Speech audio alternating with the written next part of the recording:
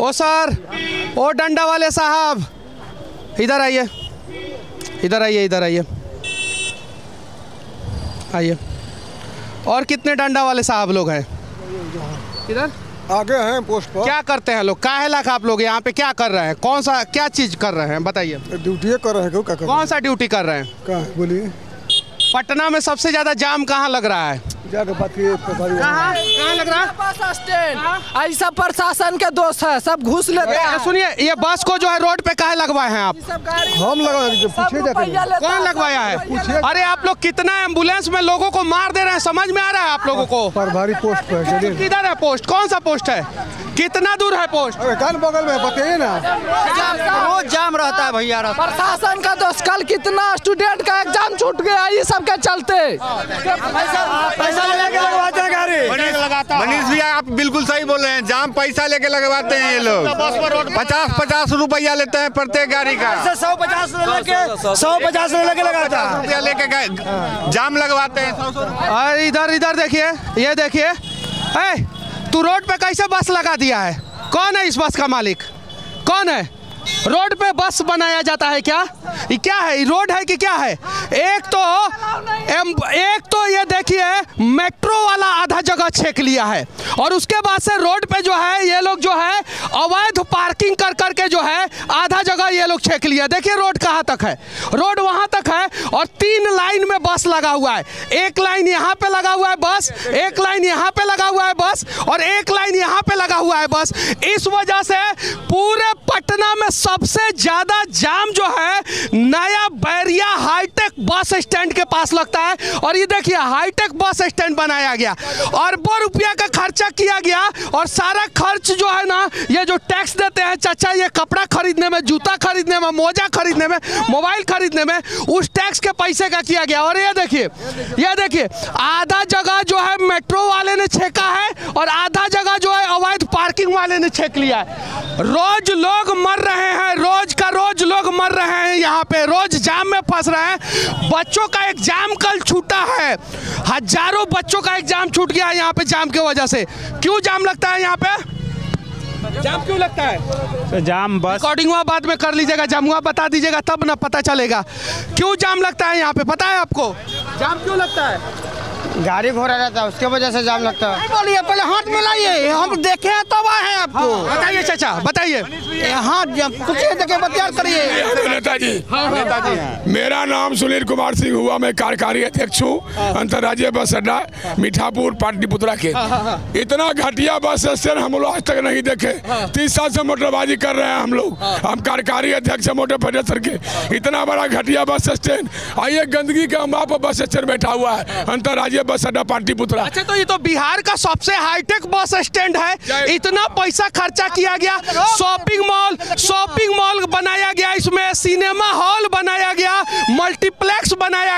और आप खराब बोल रहे हैं। अब आइए हम उसका जवाब देते हैं।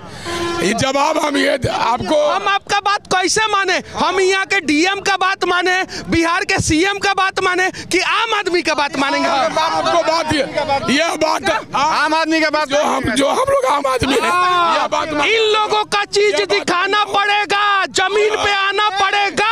और जो मीडिया स्टूडियो में बैठ कर रिपोर्टिंग करते हैं विनती है आप लोगों से। आइए जमीनी हकीकत को दिखाइए कि कितने लोग परेशान हैं।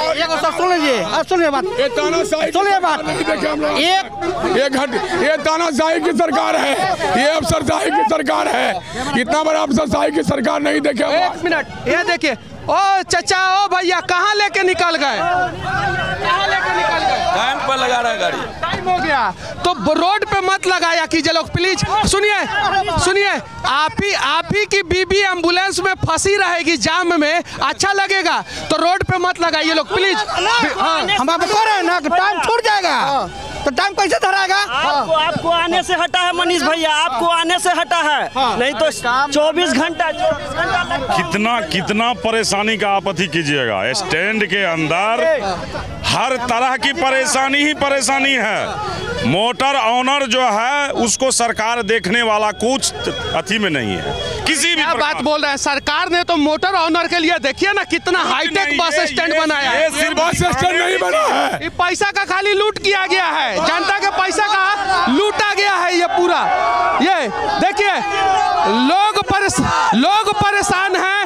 मोटर चालक मालिक परेशान। चल के देख लीजिए। हाँ। अभी इस स्टैंड का शौचालय चल के देखिए। हाँ। अभी शौचालय जाने आप नीतीश जी वोट मांगने आएँगे। एक बस से आदमी जीतता है। सर हमनी? एक पैसा आमदनी नहीं है हमनी के। मारो मार दिया है। मारता है लोहड़ाल चलते हैं गेंदा नहीं है सर गाड़ी वाला। देखिए बस ड्राइवर परेशान बस के मालिक परेशान और यहाँ से राह क्या? देखिए हमारी से। देखिए मारी से जाय में कल लू। कल मारी से ट्रैफ़िक। सबसे ज़्यादा जाम पटना में कहाँ लग रहा है? यह लग रहा है zero mile zero mile bypass bypass सबसे ज़्यादा जाम जो है बैरिया बस स्टैंड से जो है ज़ीरो माइल तक लग रहा है। और इसमें कहीं नहीं तो देखिए ये सारा जो है लोग परेशान है सभी लोग परेशान है सभी के सभी लोग क्यों? इनकी क्या गलती है? इन्होंने अपने गाड़ी पे कम से कम तीन चार लाख रुपया टैक्स दिया है। क्यों दिया है? जाम में फंसने के लिए थोड़ी दिया है। इन्होंने टैक्स दिया है सभी लोग टैक्स दे रहे हैं। अच्छा परेशान है कि नहीं आप बहुत बहुत ज़्यादा अच्छा, क्यों परेशान हो रहे हैं? यहाँ ट्रैफ़िक का कोई सुविधाएँ नहीं है। अच्छा बिहार में पटना में सबसे ज़्यादा जाम अभी कहाँ लग रहा है? ये ज़ीरो माइल के पास में सबसे ज़्यादा जाम लगता है। सबसे ज़्यादा जाम यहीं पे लग रहा है। ये दो से तीन घंटा लगातार मतलब अगर एक भी बस है कोई ट्रैफ़िक नहीं ना कोई पुलिस रहता है कोई ट्रैफ़िक पुलिस नहीं रहता है हाँ? जिसके कारण से क्या है कि पुलिस रहता है आपको नहीं पता है। आ, क्या बात करते हैं? सभी लोगों से पचास पचास रुपया वसूली होता है। पूछे इन लोगों से। पूछिए। पूछिए। नहीं ना रहता है किनारे रहता है सब देख देख देखते हुए भी सब छोड़े हुए रहता है। सब भूत बन के रहता है। डरवाएगा भूत जैसा पैसा वसूलेगा और गायब हो जाएगा। करके और गाड़ी लगवाया जाता है सौ सौ रुपया ले करके वही लोग है वही लोग वही लोग। दो दो सौ रुपया गाड़ी लेके लगवाते हैं वही लोग। रोड पर देखिए रोड पर देखिए गाड़ी लगाया हुआ है। सौ सौ रुपया डेली। अच्छा यहाँ पे रोड से उस तरफ़ जाने के लिए जगह नहीं है भैया। अगर गाड़ी उतारना हो तो कैसे उतरेगा? देख लीजिए। अच्छा सर यहाँ पे जाम क्यों लग रहा है? जाम क्यों लग रहा है? जब बस स्टैंड है क्या? जब बस स्टैंड है हाँ। तो बस स्टैंड पर तो जाम लगने का संभावना ही है। जो कोई संभावना है? तो ये बताइए कि बिहार के अलावा दूसरे राज्य में भी बस स्टैंड है ना? मुंबई में है दिल्ली में है लखनऊ में है कोलकाता में है बस स्टैंड लेकिन सबसे ज़्यादा जाम जो है ये बिहार के पटना में ही क्यों लग रहा है? आ, बता रहे हैं। ये जो तो जो रोड है। रोड अभी क्लियर नहीं बन सकी है। रोड, ठीक है। Sir, road, sir sir sir, एक मिनट। सर, रोड क्लियर नहीं है, मैं मानता हूँ। रोड क्लियर नहीं है। सर, आप सोच, आप सोचिए कि आपके परिवार वाले अगर एंबुलेंस में फंसे रहें और जाम में उनके साथ दुर्घटना हो जाए, कितना बुरा लगेगा? एंबुलेंस यहाँ अच्छा रोड पे काहे बस लगा है? रोड पे कितना रुपया ले लेके बस लगाया गया है? आप आप हमारे बारे में अगर नहीं जानते हैं तो जान लीजिए कि मेरी नौकरी मात्र सात दिन बच गई है। और सात दिन में हम कितना रुपया कमा लेंगे? जो आपने ये कहा कि आप रुपया लेकर के गाड़ी लगवाते हैं। ये नहीं बोल रहे हैं कि आप रुपया लेके गाड़ी लगवा रहे हैं हम ये बोल रहे हैं कि रुपया ले क्या? आपने बोला है। क्या? इस बात को बोला। क्या बोल एक मिनट क्या बोले इस बात को क्या बोले एक मिनट एक मिनट। आपका है कि आप हमसे हम पे चढ़ रहे हैं सर। चढ़ रहे हैं आप लेके लगवा रहे हैं गाड़ी। हम पचास आदमी से पूछवा देंगे हम। पचास आदमी से पूछवा सर यहाँ पे अगर कोई मर रहा है जाम में तो उसके लिए हु इज़ रिस्पॉन्सिबल सर? सात दिन की नौकरी सुनिए सात दिन की नौकरी बची है ना सर? तो विनती है मैं मैं आपका पैर पकड़ रहा हूँ सर कि सात दिन में सुधारिए इस बस स्टैंड को। एकदम सुधरेगा। सर देखिए बातों मैनिपुलेट करने की ज़रूरत नहीं है। आप मैनिपुलेट कर रहे हैं। मैंने क्या बोला? रिकॉर्डिंग है। सुनिए। रिकॉर्डिंग है मेरे पास। मैंने क्या सुनिए। मैंने क्या बोला? कि पैसा लेके जाम लगवाया जा रहा है। अब कौन ले रहा है? हाँ। इतना लोग को ला करके दो सौ आदमी को खड़ा करके और रोड को आप जाम लगवा रहे हैं। आप रोड को आप जाम देखिए तो रोड जाम है। हम बुलाए हैं इन लोगों को। हम तो रिपोर्टिंग कर रहे हैं मेरे को देख के इतना लोग इकट्ठा हो गए तो मैं क्या करूँ? अरे तो हम क्या करें? हमारा आदमी थोड़ी है। हम पुलिस वाला हैं। हमको देख करके लोग नहीं जमा होता। आपको देख करके क्यों जमा हो कि जाता? हमसे प्यार करता आपसे नहीं करता है? हम दुश्मन है। सुनिए सर। सुनिए सुनिए सर। मैं बता रहा हूँ। हाँ। अरे पुलिस अभी हट जाएगा टोटल बस। अभी हटा। हटेगा हटवाइए। हूँ। है चौबीस घंटा यहाँ बस लगता है। आपके आने से हटा है मनीष भैया। आपके आने से सौ सौ रुपया ले हम आप लोगों को बुलाए हैं का? नहीं नहीं नहीं हम अपने आप से आए हैं। ये बताइए और मुझे इन पुलिस वालों से समस्या नहीं है ट्रैफ़िक पुलिस जो भी पैसा लेके बस लगवा रहे हैं या नहीं लगवा रहे मुझे समस्या है कि अगर इस रास्ते पे बस नहीं लगेगा तो जाम में लोग नहीं फंसेंगे। और अभी के समय में पूरे पटना का कोढ़ बन गया है जो यहाँ पे ज़ीरो माइल के पास जाम लग रहा है। सब कोई बस ड्राइवर परेशान है, बस का मालिक परेशान है, बस में बैठने वाले लोग परेशान है, पटना के लोग परेशान है और पटना से बाहर और अंदर घुसने वाले लोग भी परेशान है। तो आखिर इस परेशानी का समस्या का समाधान कौन करेगा? बस एक ही काम करने की ज़रूरत है। रोड पे अगर ज़ीरो माइल के पास, बस स्टैंड के पास बस नहीं लगेगा तो मैं दावे के साथ कहता हूँ कि ये जो हाईटेक बस स्टैंड बना है, न जाने कितना हज़ार करोड़ का, जिसमें कहा जाता था शॉपिंग मॉल बनेगा हाई बनेगा, फलाना ठिकाना बनेगा। पहले जामुआ तो हटवा दीजिए। पहले जाम तो हटवा दीजिए और हर कोई परेशान है। और मेयर, कितना गो मेयर खड़ा हुआ है लोग पटना में? पचहत्तर गो मेयर खड़ा हुआ है लोग। जनता के पैसा से उन लोगों का चुनाव होगा। चार चार गो पाँच पाँच गो ईवीएम लाइन से लगाना पड़ेगा। लाइन से। किसी का अ, मतलब पता नहीं कितना खड़ा है अभी तक पता नहीं चला पटना के लोगों को।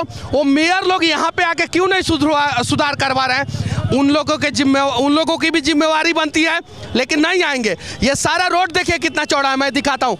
ये बिल्डिंग से लेके ये बिल्डिंग से लेके जो है यहाँ तक रोड चौड़ा है, यहाँ तक।